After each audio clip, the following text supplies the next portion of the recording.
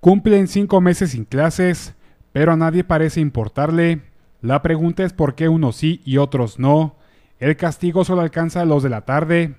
El costo de las pugnas sindicales en la Escuela Niño Artillero de Morelia lo están pagando los alumnos del turno vespertino, pero ya se decidieron a reclamar su derecho a la educación. ¡Queremos que abran la escuela! Hemos venido con la secretaria, el ingeniero Hurtado, y pues sí, o sea, no, sí nos escuchan, pero soluciones no hay ninguna, entonces. Llegaron a la Secretaría de Educación en el Estado y sus papás los secundaron.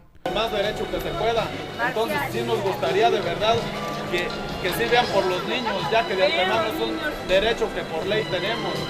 Los padres cuestionaron por qué llevan casi cinco meses en esta situación y nadie los ha escuchado. La autoridad respondió. Aquí el problema es que un grupo de maestros, por conflictos internos, decidieron quedarse a atender a los niños afuera y otro grupo quedarse adentro. Otra vez la misma historia, un conflicto intersindical ha provocado que las clases en el turno vespertino estén suspendidas desde noviembre del 2011. Las culpas de otros las están pagando 30 niños y la autoridad lo sabe. Y esto ha hecho que esta escuela de niños artillero esté, esté cerrada desde el mes de noviembre. Como siempre, males de muchos, consuelo de pocos. El turno matutino está funcionando normalmente, en el turno vespertino es donde se da esta discrepancia entre docentes, pero bueno, ya lo estamos atendiendo desde la semana pasada. Pero como la solución de raíz parece imposible, unos maestros darán clases adentro y otros afuera.